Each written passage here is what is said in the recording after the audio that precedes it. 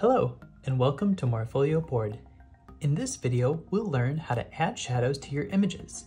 This is a super easy way to add a level of sophistication and polish to make your boards pop and stand out. Let's get started. Drop shadows will give depth to your board, and it's a cool way to add emphasis to the primary elements of your design. Simply tap on the image that you want to add shadow to, down here, tap Shadow, and then select Drop.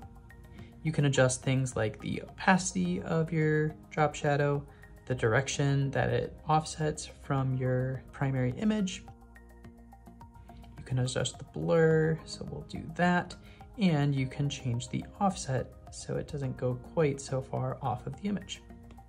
If you want to add shadows to multiple items, you can always select multi-select up at the top right and then you can tap on all of the other images on your board, including swatches, hit shadow again, and you'll see that that same drop shadow will be applied to each of your elements.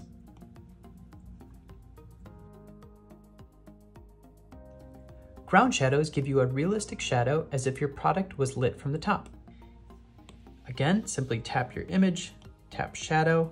This time we'll hit ground and we can do all sorts of things like this. We can adjust the opacity, maybe drop the blur down so it's a little more sharp.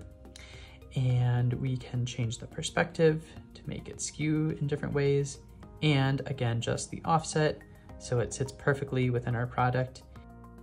And one cool thing that works well with this is if you grab the rotation, you'll see how the shadow actually rotates as you transform and rotate your product.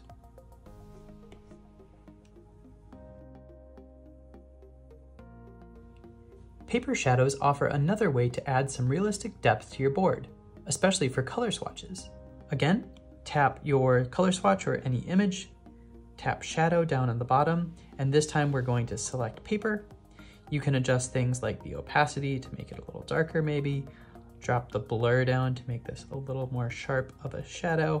And this one is the cool one where you can adjust the stretch so you can see the paper really kind of curl on the end there and again, adjust the offset. I'll bring that in a little bit and maybe I'll drop the stretch so it's not quite so dramatic.